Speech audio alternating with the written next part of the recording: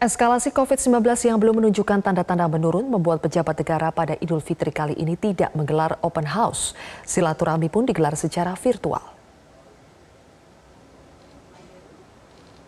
Seperti yang dilakukan oleh Gubernur Sumatera Selatan Herman Deru, silaturahmi pada Idul Fitri kali ini ia laksanakan secara virtual.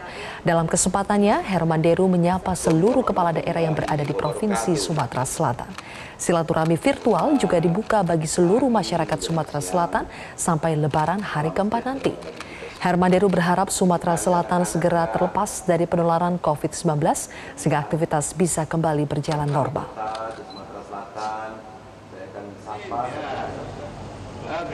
Silaturahmi serupa juga dilakukan oleh Gubernur Jawa Tengah Ganjar Pranowo.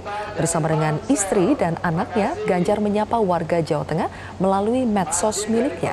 Silaturahmi virtual dibagi menjadi beberapa kloter.